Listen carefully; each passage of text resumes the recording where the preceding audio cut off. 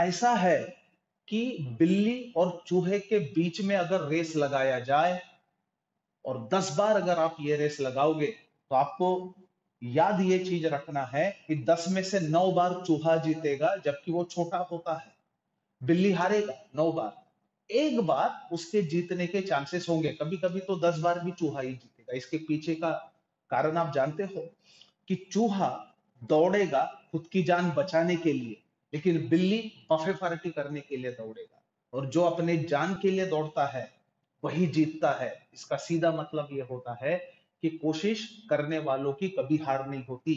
आपको जी जान लगा के कोशिश करनी है तो आप ज़रूर जीतेंगे। जैसा बिल्ली और चूहे के खेल में हमेशा चूहा ही जीतता है, याद रखिए।